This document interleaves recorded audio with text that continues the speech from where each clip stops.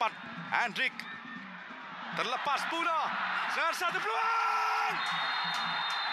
Tetapi bendera sudah dinaikkan.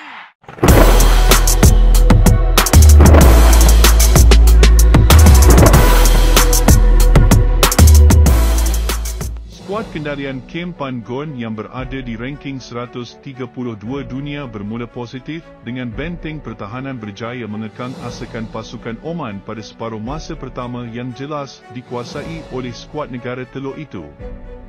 Masuk separuh masa kedua, pasukan Oman meningkatkan intensiti permainan dan hasilnya berjaya mendapatkan gol pertama hasil dari gerakan sebelah kiri dan disudahi rembatan deras pemain Oman.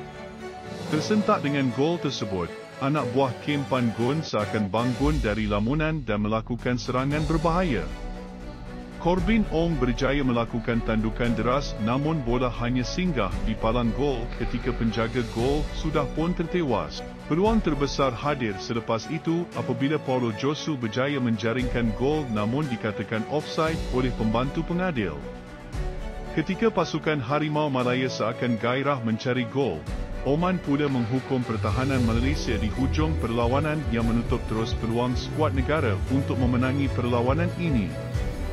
Skuad negara akan bertemu Oman sekali lagi pada 26 Mac ini dan Kim Pan-gon harus pantas memikirkan strategi dan resepi untuk mengalahkan skuad dari benua Arab ini.